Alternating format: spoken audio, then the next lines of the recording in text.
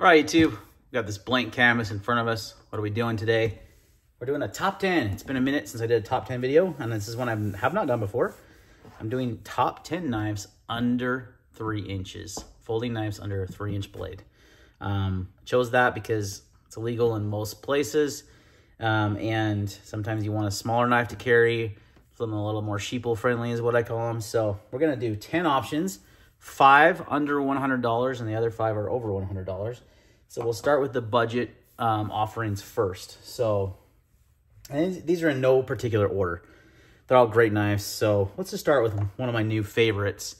Uh, this is the Lander um, from Knafs, Ben Peterson's company. Just a fantastic design. 58 bucks out the door. You've got a um, blade length of 2.75 inches in D2 steel with an overall length of 6.4 inches. And like I said, 58 bucks. Now, what makes this knife great though is the the blade to handle ratio is really well done. Just really good. Um, it's fantastic actually. For being a small knife, you still get a full four finger grip on this thing. You still get a good amount of cutting edge and the handle to blade ratio is excellent. So, and it, it's really cool knife because it's uh, got swappable scales. I've got some white scales on here. So for an extra like 15 bucks, you can get some different color scales, tons of scale options available. Uh, just a really good budget offering for just under 60 bucks. Really fantastic little knife and actually really enjoying it. So that's the first one on the list. The next one in the budget category, we'll go with the Kizer Feist. Uh, this is a front flipper. This is the blue jean denim micarta version um, that you can get off Amazon from Mojave Outdoors.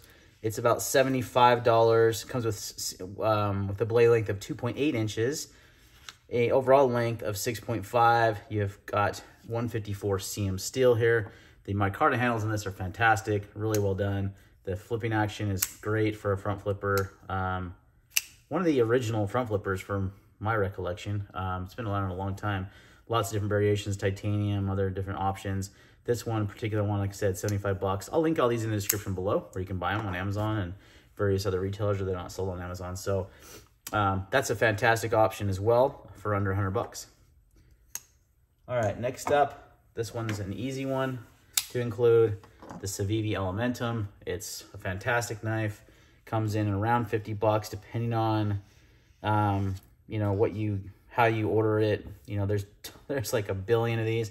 It's a very high collectible knife. I know guys that have every Civivi Elementum out there at every color because um, it's a fantastic little knife. It comes in at 2.9 inches, so it's just under 3 inches, 6.99 overall length. Uh, this particular one is in a wood scale.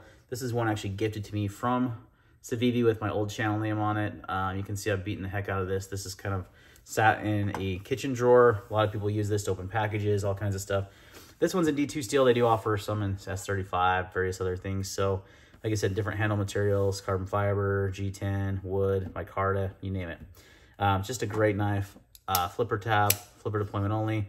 Just a really fantastic little EDC knife. Um, had to include it. So, all right. Next up in the budget category, the another Kizer. We've got the Kizer Mini Sheepdog.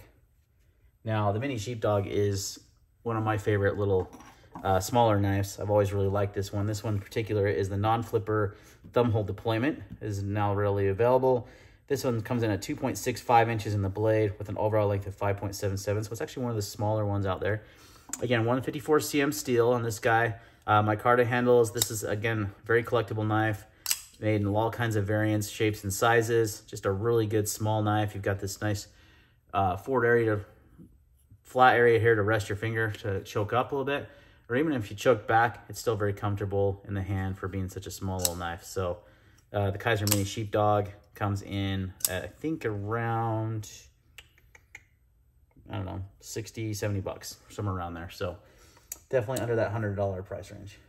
All right, number five in the budget category is another Civivi. Um, not surprised here that these are dominated by Civivi and Kizer because pretty much make the best budget knives right now that I can think of. Um, this is the Civivi Altus. This is a button lock. So also available multicolors, the red with black, uh, red G10 with black blade. Nitro V steel on this one.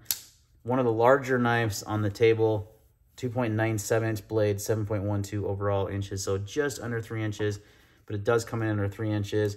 These are about 72 bucks um, on Amazon right now. Seven, again, link, links will be in the description to these. it's a fantastic little knife, but it's on the on the larger side compared to some of these other ones, but uh, still under that three inch blade length. And you have a nice button lock if you're into that fidget. Thumb stud deployment works great with the middle finger flick. You can use the button lock to open it. So multiple deployments, deep carry pocket clip. Good steel. Nitro V is a great budget steel. Yeah, can't go wrong with the Altus. All right, guys, so that's your budget offerings. Let's get into the non-budget. Let me take a sip of water here. Dealing with a little bit of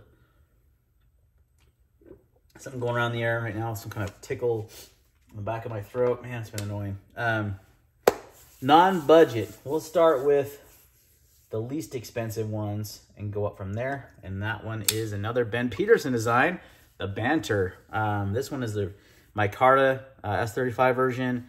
These come in at just over 100 bucks, uh, 110 I believe, 2.9 inch blade, 6.5 overall length. That doesn't seem right. That's Blade HQ. Maybe messing up their stats like they like to do.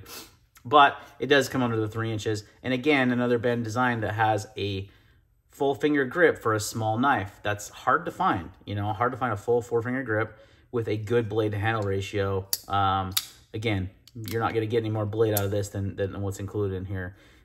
Just a fantastic blade to handle ratio, a really ergonomically designed handle, nice wide blade, um, really slicey, just a really fantastic smaller knife.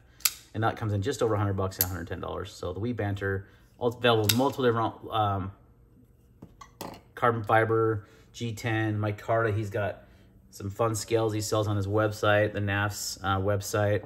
Like those Nintendo Wii ones are pretty sick. So like, you know, really just a, a cool customizable knife as well. So that's the first one.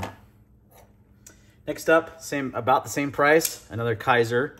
This is the Kizer Yorkie. Now, this is a Ray Laconico design, and this is the thumb stud Yorkie. This is a newer version, I believe, with a bone um, bone ivory uh, G10 I believe, handle. Could be micarta, pretty sure it's G10 though. Um, an M390 blade still. So for just over 100 bucks, you're getting a um, M390 blade, which is pretty nice because usually M390 is reserved for a little bit more expensive knives. You've got a super smooth action. Um, again, a really well-designed handle. It's pretty neutral, so you can get that. I can get a full four-finger grip on that without any issues. I wear a medium-sized glove, so if you got bigger, you got bigger mitts, this video is probably not for you anyway, right? Unless you like small knives. So um, yeah, really fantastic action on this guy. Um, like I said, M390 blade steel, 2.6 inch blade, 6.18 inches overall, um, 119 bucks currently in this configuration. So really dig the paratrooper or the stormtrooper kind of look of both that one and the, the lander. I did create the lander that way. You can see the G the white G10 is getting really dirty really easily, which is normal. So I don't think that'll happen with this. This has, seems to have some sort of like kind of coating on it, so I don't think it's going to get that stain like that G10 does. So maybe that is micarta. I don't know. Someone correct me if I'm wrong. All right. So next up, let's step up in price a little bit. We've got three left, and they're all made in the USA. The next three, so they're going to be a little bit more expensive. It's going to be the Para 3. Now, this is kind of surprising because this looks like a bigger knife, especially compared to like the Banter, right?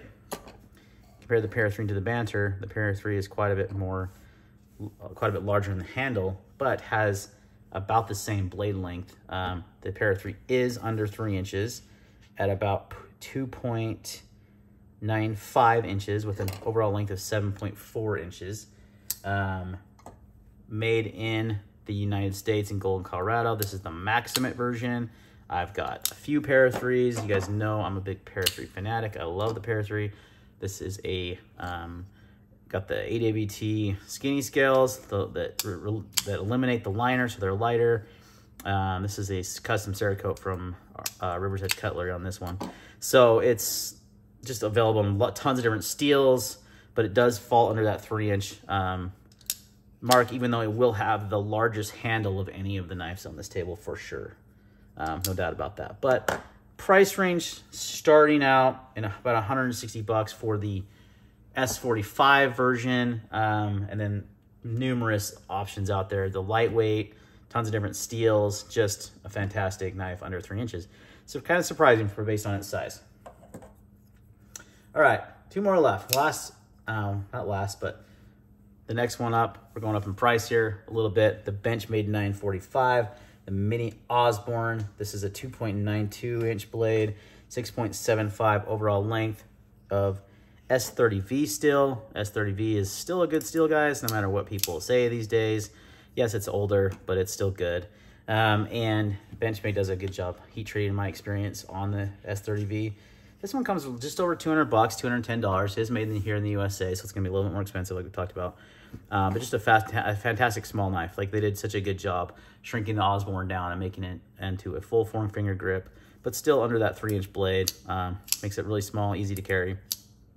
Most of these knives will fit in my fifth pocket of my jeans. I usually wear the 511 um, Flex Defender jeans and pants, and it has a little bit bigger uh, fifth pocket, and all these knives will fit in there, which is great. So if you want to be discreet while you carry,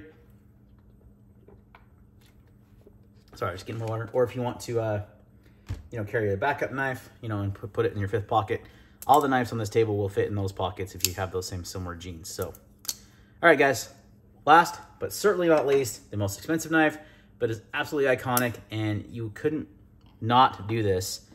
The Chris Reeves Sebenza. small Sebenza. It is under three inches at 2.99. it couldn't get any closer uh, with a 6.98. Actually, I think it's about 2.98 inches, but 6.98 inches overall length. Um, this particular one is an S45. The new ones coming out will be in Magna Cut. Uh, once they use up all their S30, uh, S45, the older ones, you can be found in S35. Um, this one's a 21. You know, those are discontinued, but they're still out there. Um, now, if you buy one of these new, you're looking about 425 bucks. So they're definitely on the expensive end. But guess what? This knife will last you your absolute lifetime. It's built like a tank. It's got precision machining, precision. It's just a precision machine. It's it really, honestly, of all the knives on this table is by far the nicest. Now, again, you are paying a lot more for the Sebenza. But I did, you know, you can buy, I've bought used ones uh, for around, in fact, I just picked this one up because I wanted to get another Sebenza and I was cool with the user and this one is about 300 bucks. So if you look around, um, you can find good deals on users. They carry a lifetime warranty. You can always send them in to be refinished. Um, you can get double thumb lugs if you wanted to. So many options. So yeah, you couldn't do a video top 10 knives under 3 inches without including the Chris small Sebenza. All right, guys, that's it. That's all 10. Um, let's put them back, back all out on the table. We'll do it based on price still. So you kind of get an idea. Starting with the Sebenza at the bottom. Uh, we'll do that Para 3. We'll do that one. This guy. Then we'll do the budget ones over here. Hopefully I'm getting all these in frame. Nope, I am not. Holy mackerel. Not even close to in frame. We gotta zoom out. Maybe if I didn't have the blades open, that would help.